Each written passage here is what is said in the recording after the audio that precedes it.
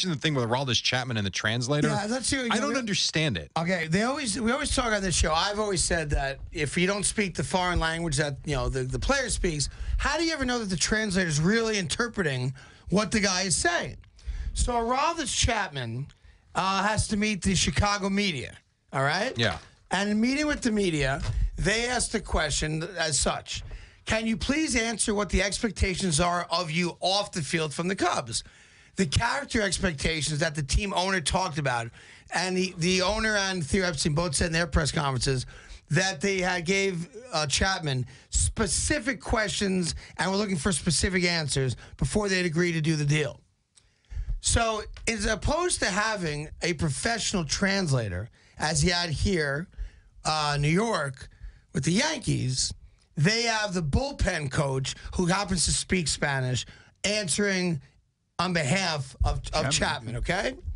He writes, he says, you know, Chapman says what he says in Spanish, and the guy goes, he just got here. They haven't sit down and talked to him about anything at any point. He's going to wait for them to sit down and talk to him. In the meantime, he's just going to be around this Chapman and do his thing. That's not interpreting it. That's his version of he's saying what he thinks is going to happen. Okay. So he's not giving a word for word interpretation as an interpreter would, right? Boom. That's right. Then it, it gets it got ugly, frankly, and he's getting killed. Chapman is in the Chicago media. The phone conversation yesterday with Mr. Ricketts was important. Theo said time and time again yesterday that they would not have made the deal without talking to you. I'm wondering if anything they said made an impact on you before you came here. You've had some time to think about it. Do you remember anything that they said? Literally the day before. He doesn't remember right now. It's been a long day. now, there are people listening to this um, conference call who speak Spanish fluently, who say that Chapman said everything right, and the guy interpreting it listened to Chapman and then just put his own two cents into it. Oh.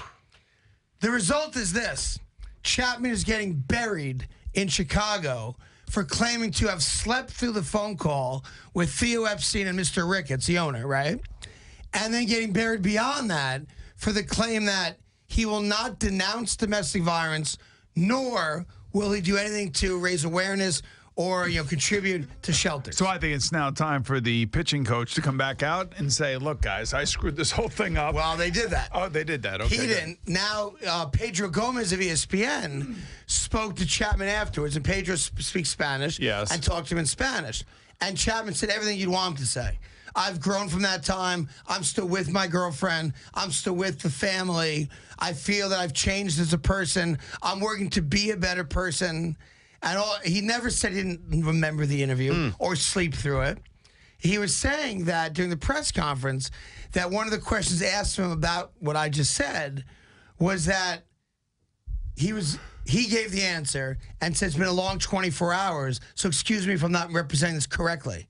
Mm. So this That's is why, how you get in trouble with this, interpreters. Yeah, but this is why you'd have to have a professional interpreter right. because they've done it before. They understand voice inflections. They understand, you know, uh, how They can actually delivered. interpret word for word. That's what you pay to. Yes. Right. I told you. I, you never know.